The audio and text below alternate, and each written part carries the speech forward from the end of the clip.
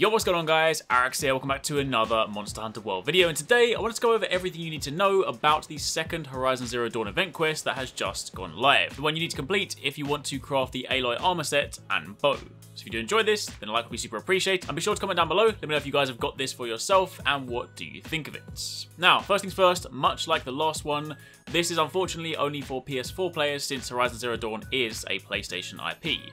But for those of you looking to get this armor, then if you head over to the quest board, scroll down to event quests, and then select the quest The Proving, this is the quest you need to do. It'll have you hunt a giant Anjanath in the Ancient Forest. It's a 6 star quest, so you'll need to be HR 11 or higher.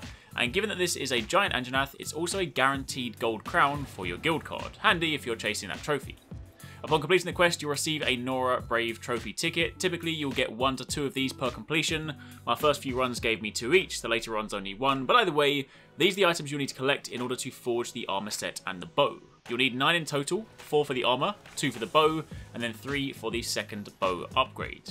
Now this quest runs up until March 15th, so you have a couple of weeks to gather all the bits that you need, but even if you miss it, don't worry, these quests will rotate back in in the future. That also applies to the Horizon Palico quest too. However, assuming you've gathered all the pieces that you need, then head over to the smithy. For the armor, go to Forge, scroll down to full armor sets, and you can then craft the Aloy armor. You can upgrade the armor if you want to use it and make it viable, Plus, you can even augment it too, so if you truly wanted it to become an endgame set for you, then at least on the defense front, it'll see you through. As for the skills, this has the two Anjanath set bonuses, Adrenaline to temporarily reduce stamina depletion when health is at 40%, and Stamina Cap up to increase your stamina cap. It also has Marathon Runner level 2 to slow down stamina depletion for actions that continually drain stamina. Slinger capacity level 2, allowing you to load more ammo in your slinger, and level 2 means this can also apply to some of the ammo types dropped by monsters too. Stealth level 2 makes it easier for monsters to lose sight of you. Weakness exploit level 1 to increase affinity by 15% on attacks that hit weak spots.